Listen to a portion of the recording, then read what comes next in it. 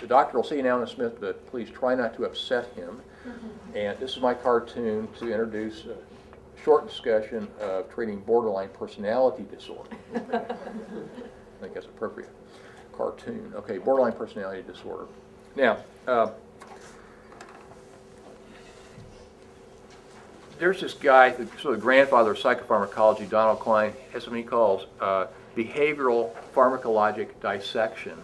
That is, you take a group and you try a bunch of different drugs, and then based on the outcome, you carve out different subtypes. So when you talk about borderline personality disorder, in the singular, that's a misnomer. It's disorders, okay? It's plural. A whole range of different kinds of people that share one thing in common, and that is very uh, marginal ego functioning.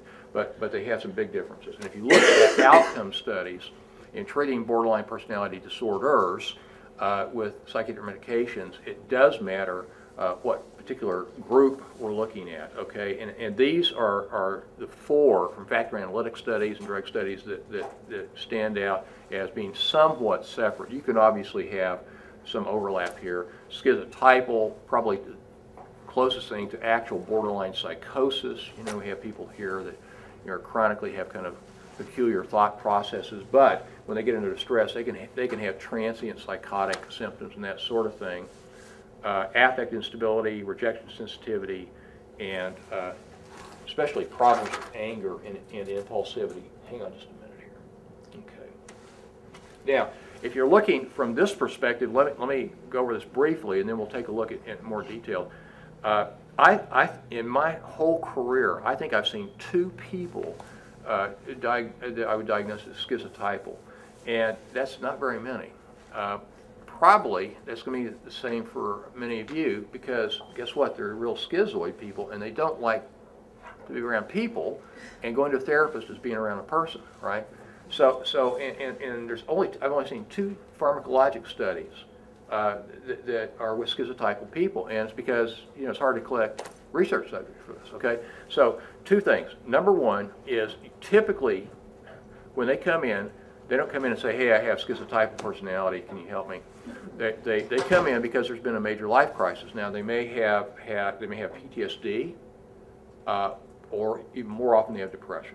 Okay, so they're coming in treating uh, you know for treatment for Axis one disorders, and uh, the, these people will be uh, you know more than happy to take a pill so they don't have to actually talk to a person in therapy. Okay, now because they it, it was probably an explanation because they have uh, this kind of borderline psychotic stuff, uh, oftentimes antipsychotic medications are very helpful. But what's interesting is uh, in, in one of these studies, they found that antidepressant, excuse me, antipsychotic medications treated depression in this group better than antidepressants. I mean, go figure. It's, it's, I, I've seen no explanation. It's empirical finding. They look clinically depressed, but they're schizotypal. So the use of antipsychotic medication, even if they're not floridly psychotic. But the other side of the coin here is in this other study, what they found is that half of these people met criteria for schizotypal personality disorder and major depression. Half uh, of those, half of them within six to eight weeks became psychotic on antidepressants. Okay, so a rare group we aren't going to see very many of these people, but we have to be cautious about the use of antidepressants because it might, for some reason, precipitate uh, psychotic stuff. And what turn out to be low doses of antipsychotic medication may do the trick. Okay? So you said they became psychotic on 80 on antidepressants. Yeah, uh, in, in this study, uh, about half of them within six to eight weeks were they were being treated for their depression with antidepressants and they developed psychotic symptoms. Uh, who, who knows why? Okay, uh, affective instability. This is a hallmark symptom of, uh, borderline personality disorder, and I'm going to talk about a specific study here. Uh, let me make sure. Hang on just a moment. Let me just check. Well, actually, I don't have the slide.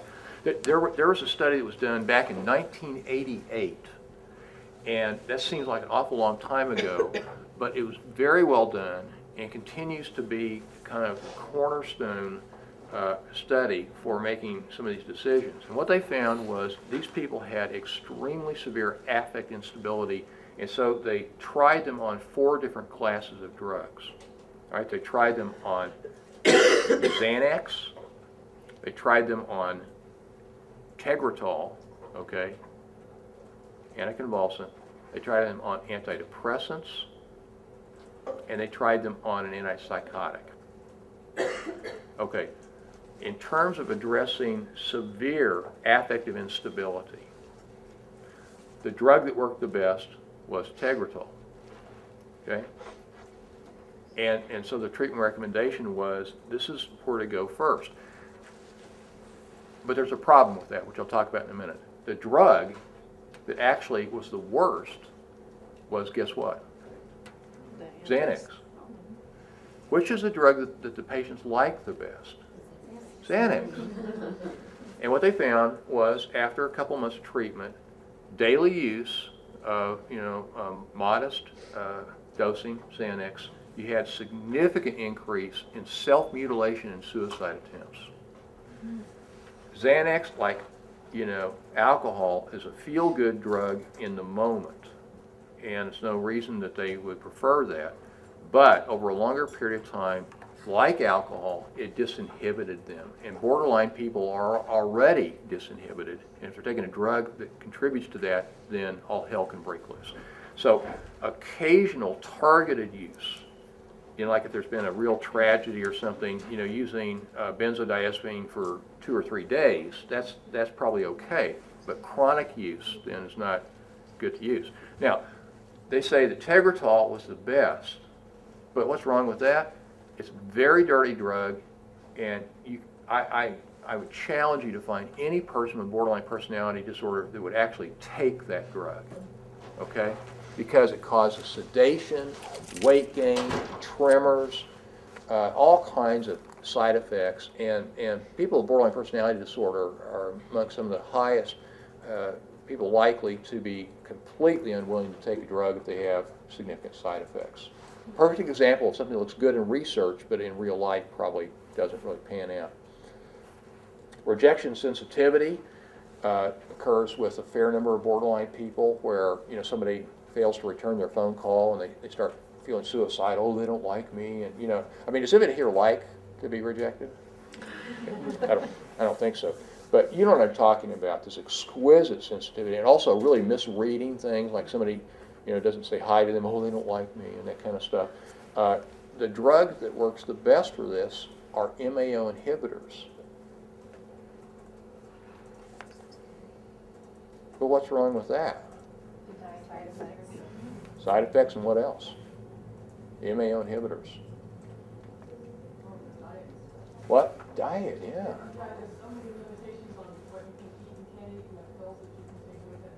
Absolutely. I mean, you have to have very conscientious people that are going to make sure they don't take the wrong drug. They go, you know, take one dose of Sudafed and, and it blows out an artery in the brain. You know, they say, oh, the hell with it, and they drink a bottle of red wine and eat some pepperoni pizza, and it kills them. So how many clinicians would feel comfortable about giving an MAO inhibitor to somebody who has borderline personality disorder? I've had one patient that, that had a husband who was very conscientious, was a real caretaker kind of guy. Nothing worked. He had this out of control wife who was extraordinarily uh, emotional, and other drugs didn't work. And because he monitored things, and we really sat down and talked about risk and benefit, and actually, as Kaiser had had her sign a thing that she understood about, you know, uh, it was a consent form and all that kind of stuff, and she did very well on MAO inhibitor. Uh, made a huge difference in her life. Okay, but again, uh, you know, research says something, but practically it's, it's difficult. Angry and impulsive. Okay, well, we'll talk more about this in just a minute. So avoid benzodiazepines, uh, except for very occasional use. Uh, similar slide to what I showed you before. This is the fenfluramine challenge.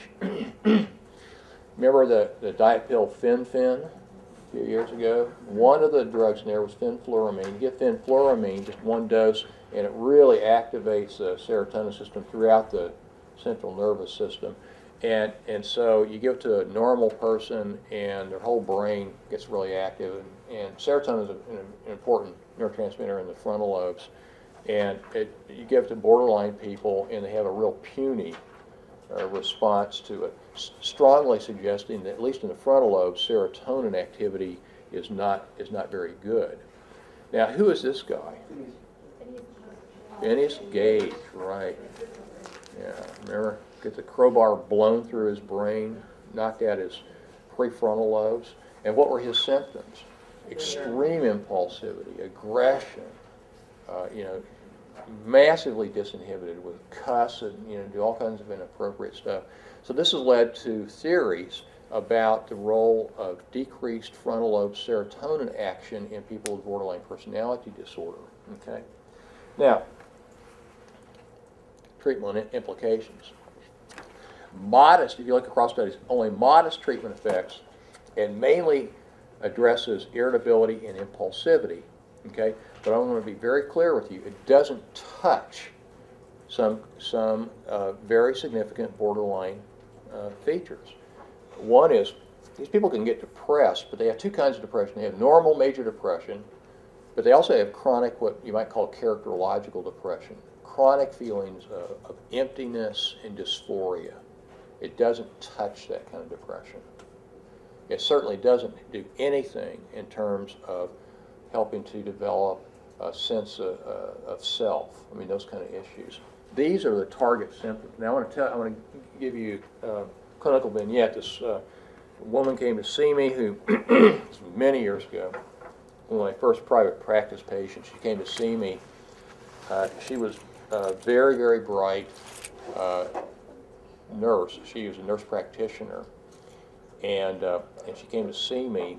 And uh, this woman was absolutely despicable uh, in the way that she treated other human beings.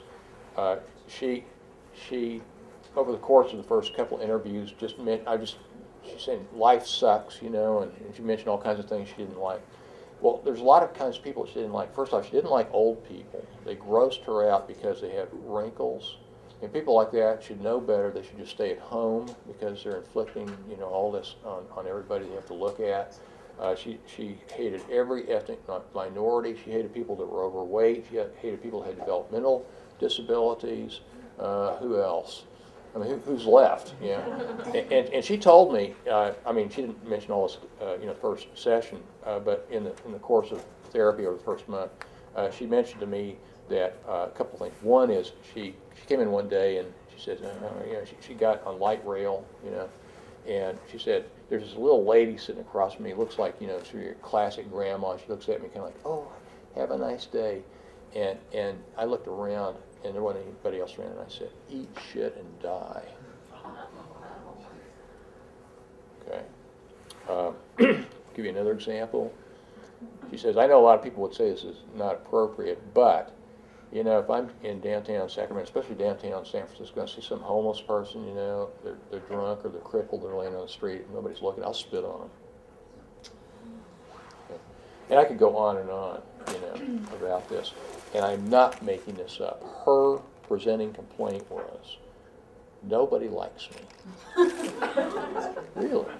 Well, I don't either. And, and so, you know, and, uh, now, she's like a lot of borderline people, kind of this cranky, irritable, aggressive, you know. But keeping people at a distance, pretty effective way to do that. like many people like this. Eventually, a year into therapy, then she started opening up, and she'd just been terribly abused when she was young. And she began to then expose to me this enormous uh, uh, pain and vulnerability. Okay, but her behavior really was creating all kinds of havoc for her. Okay, now, believe it or not, she's been married for 20 years, and she was married. She, I could hard to believe, but she's married to a guy who was an engineer. Okay, PhD. She called him the refrigerator. Obsessional, cold, aloof, who else could live, you know, I guess with somebody like this, okay?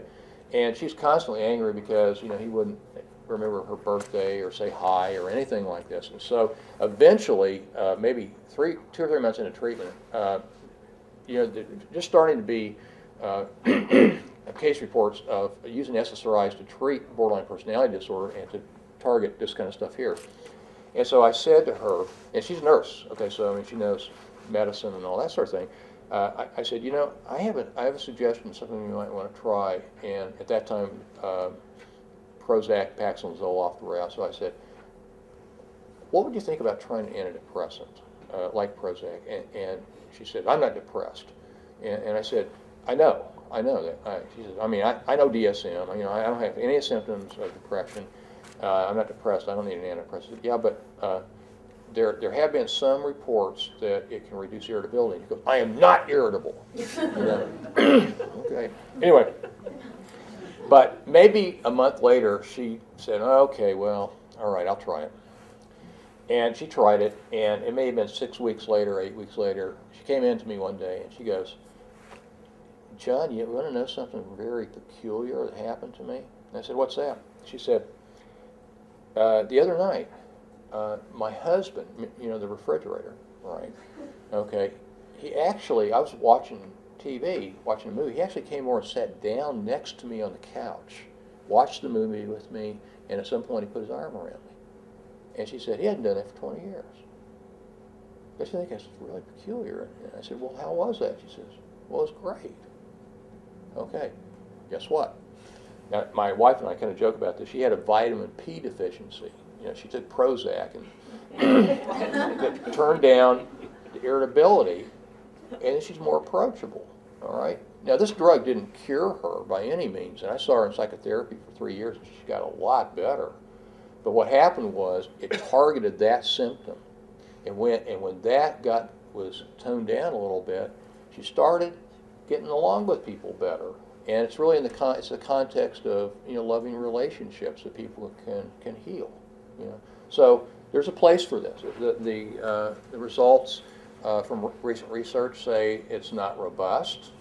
Uh, but then treating borderline personality disorder, you know, it's tough to do anyway. So I think that SSRIs have a role to play. Do just a couple of other things here, and then we'll take a lunch break. Uh, benzodiazepines, okay, we already talked about that. Uh, okay, here we go. Antipsychotics.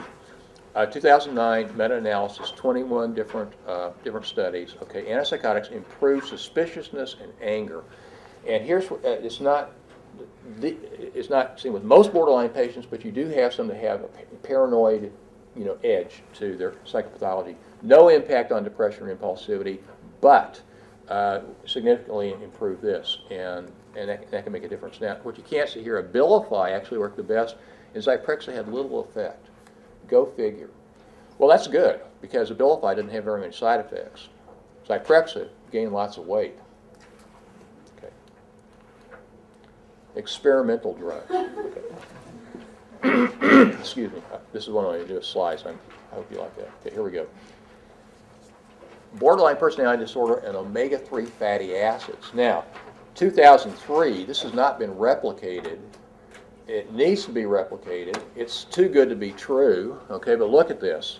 Uh, one gram a day, all right, versus placebo, random assignment, only 30 subjects, only 15 in each group, and look at this, at eight weeks, significant difference in terms of reducing aggression and depression and no side effects.